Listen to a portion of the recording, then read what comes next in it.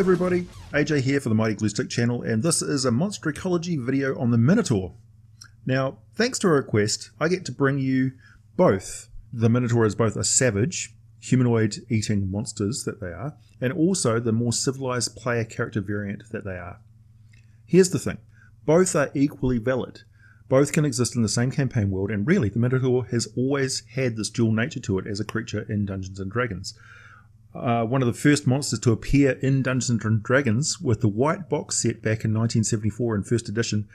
Uh, the Dragonlance setting featured Minotaurs of the world of Krynn as a playable race, and they featured in many Dragonlance setting materials later. But yes, they have always been a playable race since 1985. I emphasize this to head the old school monsters should stay monsters players out there because I can just imagine your knuckles whitening in anticipation of venting your views on playable minotaurs. So, ha! They are monsters and player characters. They always have been. Deal with it. Okay, as monsters, they are based. Uh, they have their roots based in the mythology, and yes, they eat people. All minotaurs are carnivores. They eat meat, and they have very sharp fangs of meat eaters. The monstrous variety also love mazes. They have a humanoid body um, of a professional wrestler proportions and larger even, and they have a head that is the proportions of a bull, and they have cloven feet.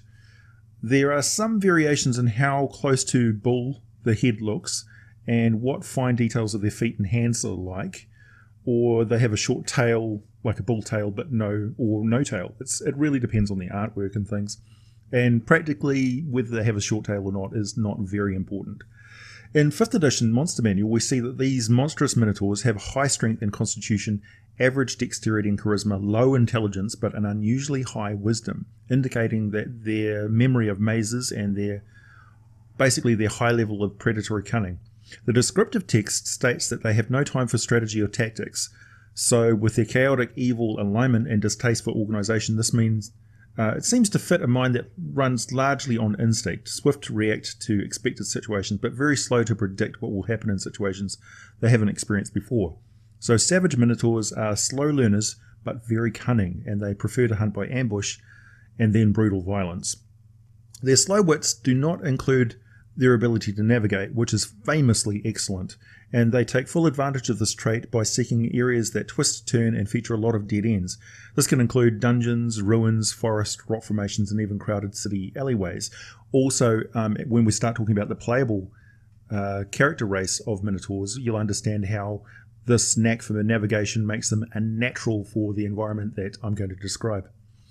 Uh, because later on in this video, I'm going to tell you how you can fit them into your uh, Forgotten Realms campaign setting quite easily.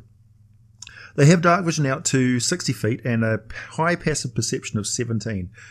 And they are characteristically berserk in their fighting methods, as the scent of blood and the sight of gore sends them into a frenzy just as much as getting sliced or chopped by their enemies does. With an armor class of 14, hit points ranging from 36 to 117, the ability to gain advantage on all attacks while at the same time getting disadvantages on defenses, the Minotaur is a dangerous foe, and their gore attack if they have at least a 10 foot run up to a target, is plus 6 to hit and does 8 to 36 damage with a DC 14 strength save from the target, or it gets thrown on its ass 10 feet from where it was standing, not prone. I imagine the Minotaur will then power into the next attack, uh, or if it has a clear gap, leap the distance, go into a reckless mode, and proceed to wail on the prone, prone target with its great axe, striking with advantage and doing 6 to 28 damage every swing of that thing until that target is turned into a pile of bite sized chunks. Minotaurs are also pretty fast with a base speed of 40 feet. They can run down most humanoids and can run for quite a long time before slowing down thanks to their high constitution. The second half of the descriptive text in the Monster Manual talks about the cult of the Horned King and the rituals of the cultists that gradually transform them into Minotaurs. Uh, all under the influence of Baphomet, the Horned King, demon prince of the prince of the great maze in the abyss. We will be talking much, much more uh, later in this ecology about that, but let's take a look at the civilized playable race of Minotaurs and where they come into the picture. Minotaurs, even the, the ones created with transformative rituals, breed true, meaning that two Minotaurs will have a Minotaur uh, calves, not babies of whatever they race they were before they became Minotaurs. So two cultists of a completely separate species uh, who became minotaurs thanks to their foul rites would have minotaur babies with each other. The offspring will most likely end up being savage hunters themselves, but not always, and they can sometimes control their urges and bloodlust uh, and become calmer, more patient, more tolerant, and less chaotic individuals and pass these traits into their own offspring.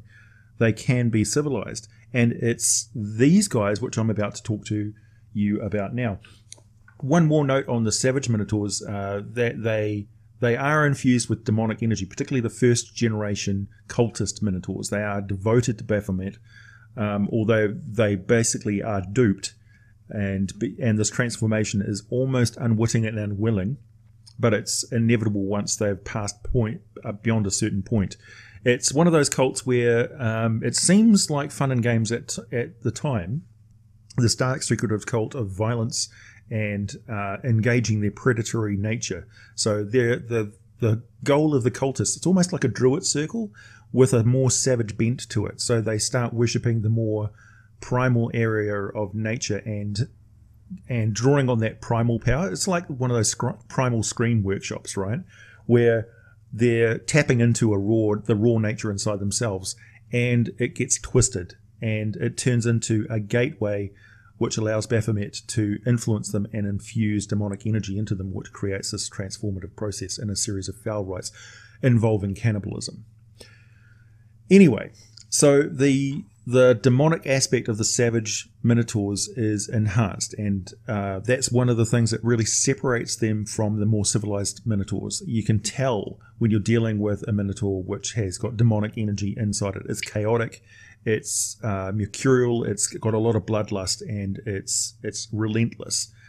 And one of the biological aspects of being a large meat eater, if you look at lions and bears and all sorts of other creatures that eat meat, they spend a lot of their time resting and, and relaxing and sleeping because the the the it takes a lot of metabolism to be a, a, a high high apex predator, and meat is one of those things where you chase stuff down and catch it, or maybe not. Minotaurs would be the same sort of way. And one of the downsides of being a meat eater and being constantly active is that you need to keep up your metabolism. You need to keep your body, your your your muscles pumping at the sacrifice of nutrition going to your brain. So that's that kind of explains the savage minotaurs being chaotic and not very smart because they have a lot of instinct they've got a lot of hunting prowess but they don't have a lot of uh, spare nutrition to keep their brain pumping.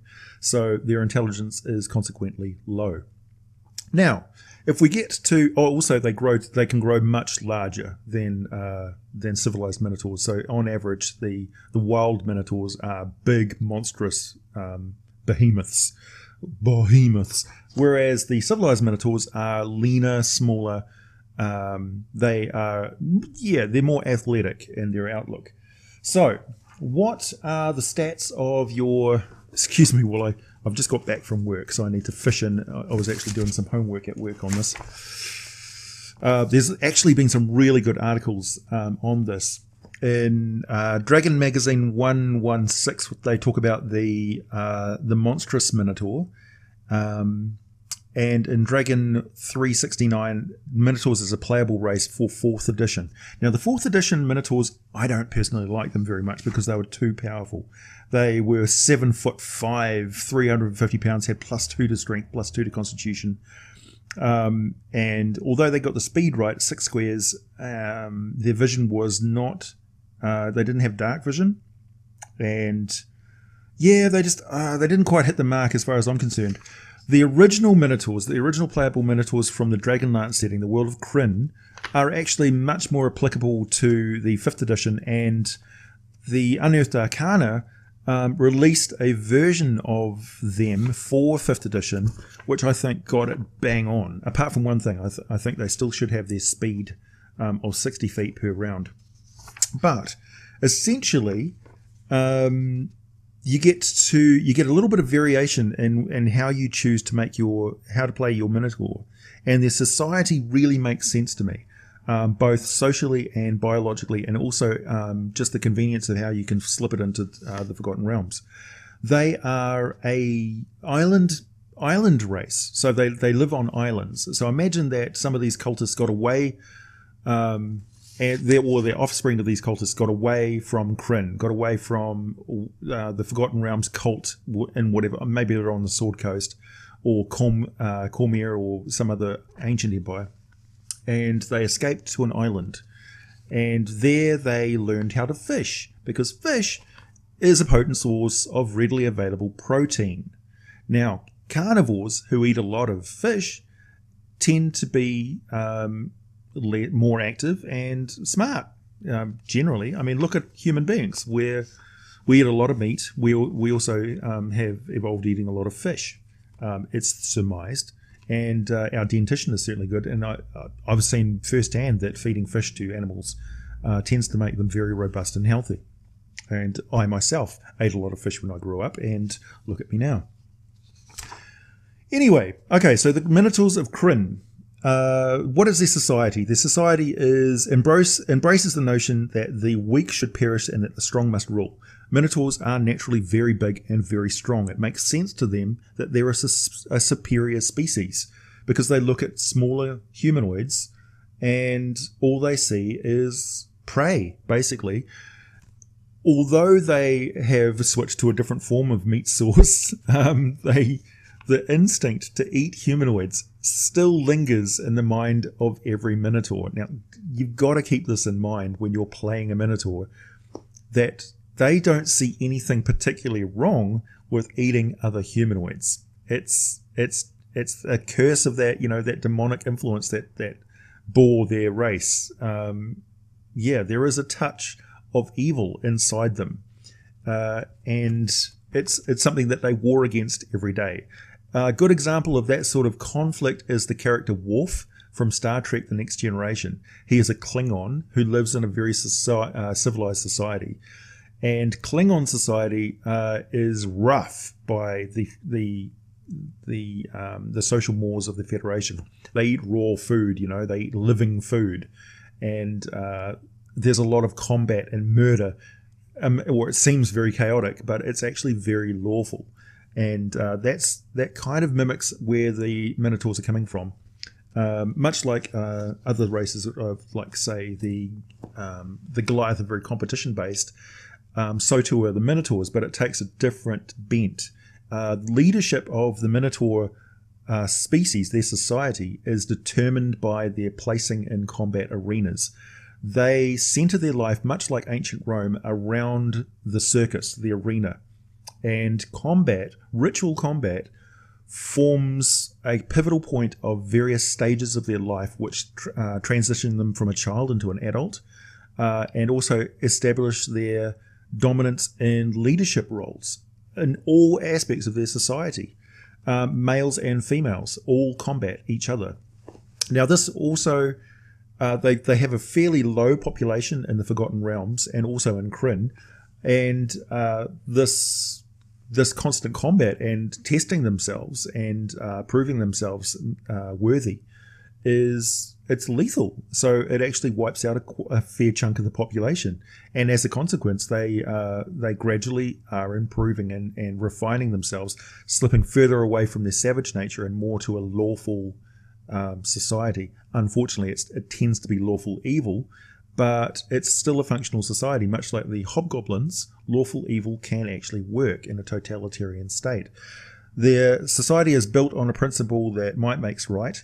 It is led by an emperor who is served by a council of eight minotaurs called the Supreme Circle. This is actually um, a reflection of the um, eight council of eight pit fiends in the um, the nine hells and yeah, it, it kind of makes sense that their society would mimic the hierarchy of the Nine Hells in a way, um, even though they have that demonic, chaotic nature bubbling away underneath the surface. It mainly manifests itself as battle rage and not so much a subversion of all lawful traits in them anymore. So, yeah, you could say that they've, they've basically bred the chaos out of them. And uh, they do it kind of brutally.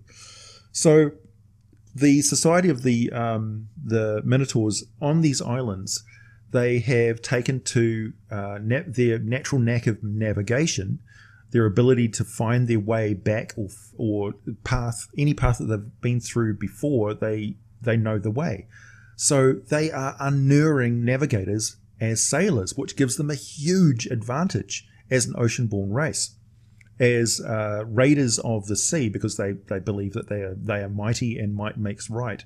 So, um, if I can borrow something else, any of you who are familiar with the uh, the Game of Thrones series and the Iron Islands, the uh, the iron price for things, and um, the the house which does their seaworn raiding, uh, the Greyjoys. This is the same principle. They they believe that um, one can earn something by paying the iron price for it, by killing somebody for it, and they although they do engage in some trade, they also do a lot of raiding as well, and there is a nice comfortable spot that you can slide them just perfectly into it because there is islands in the Forgotten Realms. I'll just cover some of these places on the map here, where um, it has long been established that this is a pirate kingdom. These are pirate islands that pirates come from. And it's easy to slip in uh, the Minotaurs as a pirate society which comes from this place, which they're kind of like you know the uh, the Greyjoys. They're kind of like uh, a Roman state. They're kind of like a hobgoblin force.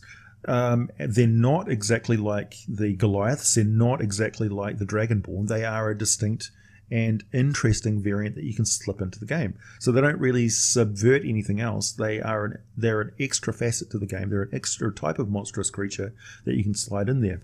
And of course, having a stable society that they've come from, or having a society where their ships may wreck on coasts, they may get into uh, combats and fights and things where individuals are stranded long way from home, means that individuals may settle outside of their culture and they may have offspring, and these these individuals may be raised amongst other societies. So you have that ability to have adventurers with a wide and variant array of different backgrounds. Now, the interesting thing is, and one thing that I really like with the Krynn version of the player character is uh, so they've got an increased strength score of one. So you increase their strength score by one, but you get to choose whether to increase uh, another one of three virtues strength, cunning, or intellect. Your choice of strength, uh, intelligence, or wisdom score increases by one. So you can increase your strength by two, be truly uh, powerful, or you increase your wisdom, or increase your intelligence, because um, the Minotaurs have have turned away from savagery and uh, embraced learning and wisdom. They are adults about the age of 17, can live up to 150 years. They have a strict code of honor, which tends toward a lawful alignment, but as I say, they're um, they're loyal to the death and make uh, very nasty enemies who will um, certainly pursue a grudge, but they also make a great friend, a loyal friend, and they are not swift to form friendships with somebody because they are so honor bound in their friendships with others. Uh, because you know um, they will ki- they will fight and kill for a friend. Um, murdering somebody else is is something which is part of their society, part of their culture, and something that comes naturally easy to them um, slipping into a murderous, monstrous rage is something that, um, yeah, it's all too easy for them, I should say. They, uh, the non-monstrous versions are about six feet tall, weigh about 300 pounds. Their size is medium. Their base walking speed is 30 feet for these ones, although I've got no problem with it. You bumping that up to 40 feet. I mean, why not? Um, they are pretty stable on their feet. They are, they come from a maritime nation, so they're they're pretty good to uh, used to a rocking deck. They don't wear footwear, obviously. They have hooves. Their horns um, give them a. The monstrous ones have horns that do uh, 2d 2d12 damage. The non-monstrous ones have got slimmer, uh, less bestial horns that do 1d8 damage piercing, and they grant them advantage on all checks made to shove a creature but they don't knock a creature prone. Even when they do a dash action and then make a melee attack with the horns, um, they yeah you can use your dash action and make a melee attack with the horns. And they've got this feature called hammering horns. When you use an attack action during your turn to make a melee attack, you can attempt to shove a creature with your horns as a bonus action. So they could be attacking with a weapon and still woof hit somebody with their horns. Can't do this shove attack to uh, knock a creature prone, but you can certainly knock them back. Uh, they and of course they've got that perfect recall for any path that they've travelled. This includes dungeons, so they are great adventurers because they unerringly, unerringly find their way out out of ways that they've been, and they can instantly tell when a dungeon, say, a wall has shifted or something like that, and the geography of the dungeon has has changed from when they passed through it before. So they've got that great recall. And as a sea reaver, if they are actually sea reavers, they gain proficiency with navigator tool and water vehicles, so they can sail and use um, a sextant and things like that. And they speak common. Um, they don't have a, a Minotaur language per se, and their culture is relatively young um, for the Forgotten Realms. Their names originally, um, their naming traditions um, are based on the Krynn. so they had two islands um, in Krynn. I won't go into great detail on uh, the background of the Krynn um, Minotaurs because it's very specific to the two islands there. And if you're interested in that sort of thing, I'm sure there's wikis and things like that for you. But I mainly concentrate on Toril, so forgive me. Um, yeah, although the Dragonlance setting is great um, and information on, on that, that stuff is really good. It's a little bit dated now. Um, and I'm not, I'm if you are a, a, a, keen player of Dragonlance setting and Krynn, please let me know. Um, and uh, if you've got any requests for that sort of information, otherwise, I'm just going to assume that most people are playing Forgotten Realms setting stuff or playing their homebrew um, campaigns, and Krynn is not high on your agenda. Uh, yeah, so honor. For all their cruelty, they are bound by a powerful sense of honor. So, um, defeat in combat uh, is very bad in this society. Defeat in any sort of combat is very bad for a Minotaur. Both personally, their psyche suffers greatly for it. They, they, they suffer a great lack of confidence. They may fly into a rage. They may um, be expelled from their society. Uh, they may have to take lesser positions or not get the positions that they're best suited for. Uh, so you may have a brilliant Minotaur who just happens to be bad at combat and they will never get ahead in their society. It's just the way they are, unfair as it is. So you can have particularly talented minotaurs who have a natural talent for magic or the clerical arts or um, say use of a bow or, or ranged weapons and things, and they just don't get ahead in Minotaur society because of the damn reliance on fighting to attain any sort of position one on one combat, and so their combat is very ritualized. They may be a lot like the Fremen from Dune in that they carry a ritual combat weapon. Although typically, I mean, the majority of artwork you see of Minotaurs and prevalent in their culture and on all aspects, they love great axes. Uh, battle axes and great axes tend to, to be their weapon of choice for various obvious reasons. If you've got great strength, it's a fantastic weapon um, very versatile. It's also a tool that's very uh, handy. I mean, it, it, basically is an axe. So yeah, and uh, you can use them all the time, and they are pretty handy on a, a ship as well for cutting cutting lines and riggings and splicing uh, slicing up rope and um, chopping planks and that sort of thing. So yeah, makes sense. Now, uh, the, the Minotaurs of Krynn believe that they are destined to conquer the world, and there's no reason why Seaborn Raiders of the Forgotten Realms wouldn't also have a similar sort of philosophy, and they may be a relatively recent uh, addition to the Forgotten Realms post Spell Plague. Um, one of the things that got pointed out to me uh, recently um, when I was talking about the gnomes and the island of Lantan being destroyed uh, the gnomes have actually come back. Um, I just read in the the Sword Coast Guide, uh, Adventurer's Guide, um, and thank you very much to the viewer who uh, pointed this out to me. That the the gnomes of the population of Lantan has actually come back, but I suspect that the island has actually been devastated, and they've just dug up a bunch of uh, the shield golems and things like that that they had in storage that managed to survive the deluge, and they've been trading them along the Sword Coast uh, at various different locations in exchange for raw materials rather than gold and gems and things. And also, they've been seen to be trading strange gold coins with unusual markings on them and weird alien crystals, exotic crystals from some other realm. So it seems that some magic transported the, go- uh, the gnomes to some other land where uh, they survived for a hundred years, and then the majority of the population came back, grim, dour, a little bit worse for wear, but determined to rebuild the islands of Lantan. Now, if you wanted to piece the two together, you could say that they were transported to the islands, some island in Krynn. Perfectly reasonable, why not? And when they came back, Minotaurs came with them. That's perfectly reasonable as well. So, yeah, you can slot them in anywhere if, if you so choose. I mean, I don't see why not. Okay, so that's basically it for the. You know, there's also if you want to look up the um, the unearthed arcana stuff on the Minotaurs, they've also got some really good resources for the Mariner fighting style. Uh, Mariners as a feat, the uh, roguish swashbuckler archetype, and um, they've also got some ad- additional random roll table for bonds that you can uh, apply to your uh, Minotaur.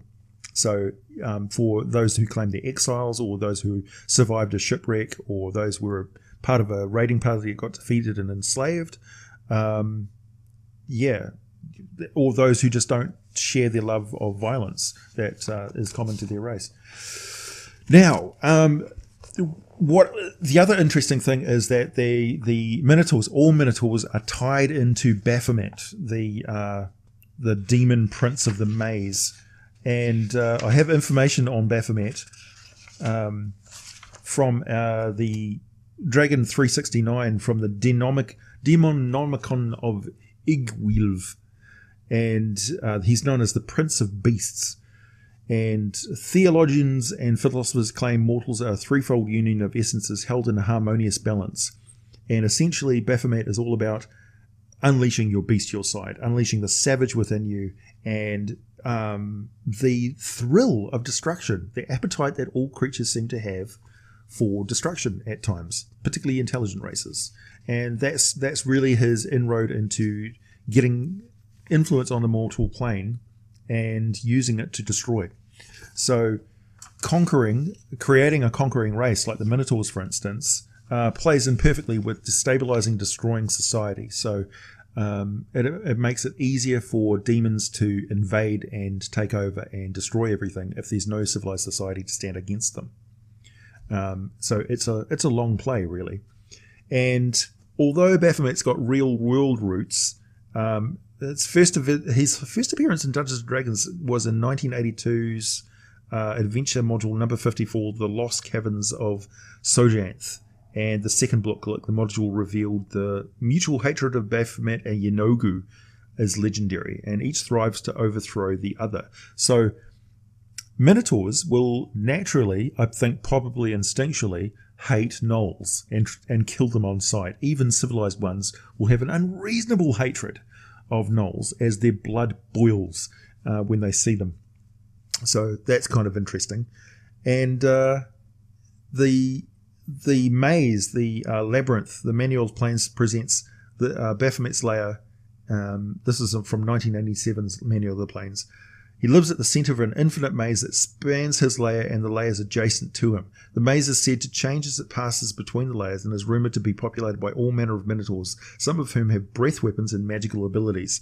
Uh, so they are truly fearsome, monstrous, giant, uh, demon infused minotaurs of legend. And as with every other figure of the Abyss and the Nine Hells, Baphomet vanished when the second edition of Advanced Dungeons and Dragons game wasn't um, well because of you know the 1980s and the uh, the whole Satanic Panic thing, and it wasn't until 1992 that Baphomet returned. This time as one of the interloper gods who insinuated themselves into the giantess pantheon, and uh, he was risen was a risen Tanar'ri lord who exploited Minotaurs, seducing them to, into service for the gods of, of the giants to serve their machinations against the ancient rival and enemy Yeenoghu.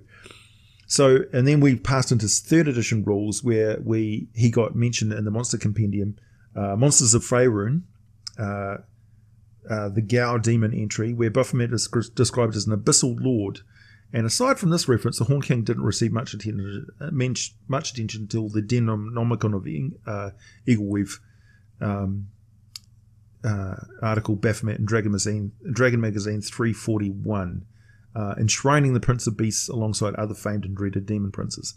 Uh, and yeah, the Codex, Fiendish Codex 1, Hordes of the Abyss, told us that Baphomet shares his abyssal lair with a potent and ancient fiend lord named Pale Night. More in, so, as I mentioned in Pale Night's video, Baphomet's on the outside of the citadel of Pale Night, who is in a small realm inside of the great infinite maze. And Baphomet, wisely, I think, um, avoids interaction with Pale Night as much as possible.